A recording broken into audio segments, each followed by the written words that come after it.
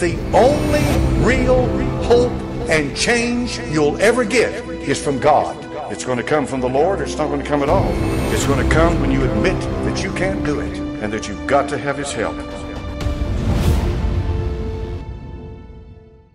And as we turn away from the living God as the central point of our very lives for each man, woman, and child in this nation, so did morality fall away. And as man became immoral, in this country. Many amendments had to be added to the Constitution to adjust itself to the ways of mankind and to those decisions of man that freedoms may still be afforded to those who are of equality to another man. As the amendments were added, lawyers became the sole powers behind the interpreters. So only they can interpret the Constitution in the way that they do, which means that was consolidation of power, and that power was abused and misused over and over and over and over again until men would suppress others and hold others in contempt and blackmail still others. As they did this, more corruption was born. Now the system exists by itself, and men are elected to serve the system. The system no longer serves man. The system enslaves man, and man serves the system. I hope that you can see that. So mankind did just what the founding fathers who believed in God warned about. They said, if society becomes immoral, they won't worship God nor know about it. And if this happens, a great evil will sweep this nation.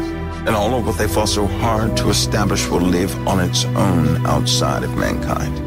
And then mankind will serve it. It will no longer serve mankind. So now that brings us to today.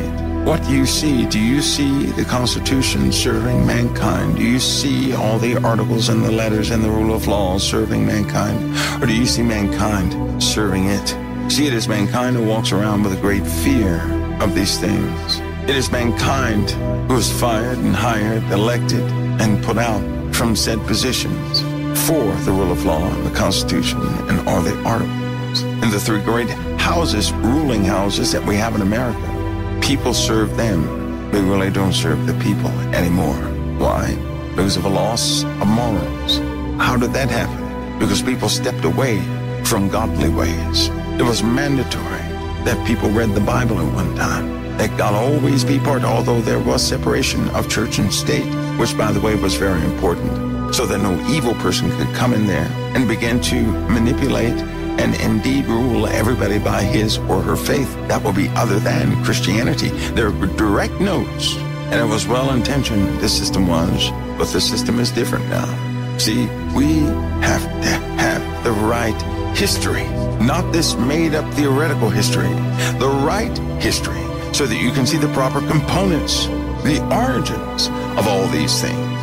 I mean, if we have to go back, way back to 1200 BC, then so be it. We have to look at Alexander's kingdom, we have to look at the, uh, the statements of the philosophers of ancient Greece, the Persian Empire, the reason it mutated and fell, if we have to re examine Solomon's rule and see the influence that spread all over the world, if we have to examine the 538 BC act of the end of the Babylonian captivity, the change of power that took place at the same time, the acts of King Darius, as also mentioned in the Bible, true history, so that we can see what we see now. Because in the capital of this nation of America, you see the representation of every nation this country is.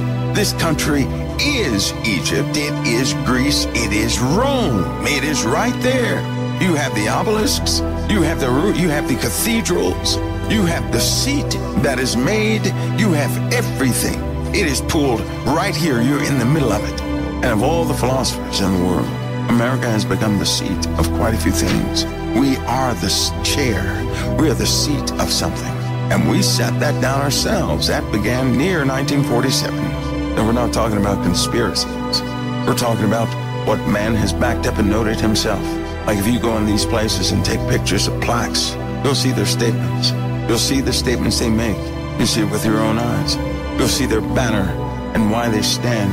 But then you guys will watch politics and you get yourself involved in that so much that you become emotionally compromised. You're ready to judge that which is already judged.